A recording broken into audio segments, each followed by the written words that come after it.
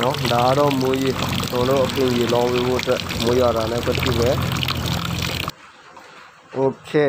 ကျွန်တော်တို့မိုးရေကိုရပါပြီနော်ကျွန်တော်တို့မိုးရေရပြီကျွန်တော်တို့အပင်ကိုလောင်းပေးမယ်ဒီလောင်းပေးမယ်နော်မကျွန်တော်မနေရဆက်ထားတဲ့ပင်မှာ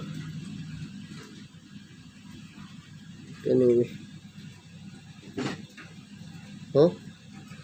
မတ်ပင် နော်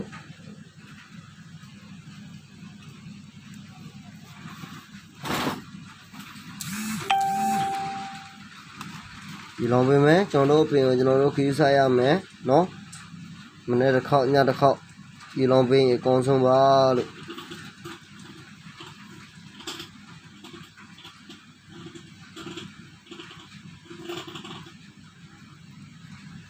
ဟော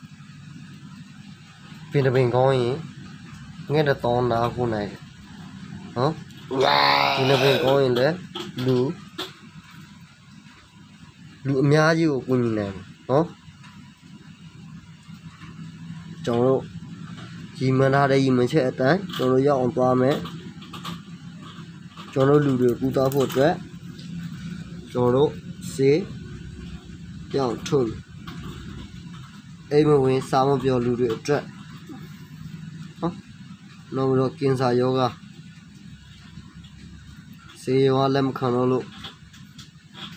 တိမ်မရဲကိုဆွာရမယ့်လူနာတွေအတွက်နောက်ပြီးတော့လေဖြားတာတို့ဘာတို့အကလုံးကောင်းပါတယ်ဒီထက်ပိုပြီးတော့သိစေချင်လို့ဆိုရင် YouTube မှာလိုက်စာလိုက်ပါသူ့ရဲ့ကောင်းကျိုးတွေအများကြီးရှိပါတယ်လေဖြားတာကိုလမ်းမဆောက်နိုင်ဘူးဒီစေးကိုတောက်ရင် လမ်းပြန်ဆောက်လာနိုင်တဲ့အထိသူ့ရဲ့ကောင်းကျိုးကအဲ့လောက်ထိရှိပါတယ်နော်ကျွန်တော်တို့အားလုံးအတွက်ပြောတာပါနော်အခုငါယောဂမဖြစ်သေးဘူးအခုငါယောဂမဖြစ်သေးဘူးဘာအောင်မပြောပါနဲ့နော်ချိန်ချိန်ကြလာရင်ယောဂဆိုတော့ဘယ်သူမျက်နှာမှမကြည့်ဘူးနော်အဲတော့ကိုယ့်ကိုကာကွယ်နိုင်ဖို့အတွက် နော်ခုချိန်မှာအကောင်းဆုံးပါလို့နော်မအားလုံးအားလုံးကျေးဇူးတင်ပါတယ်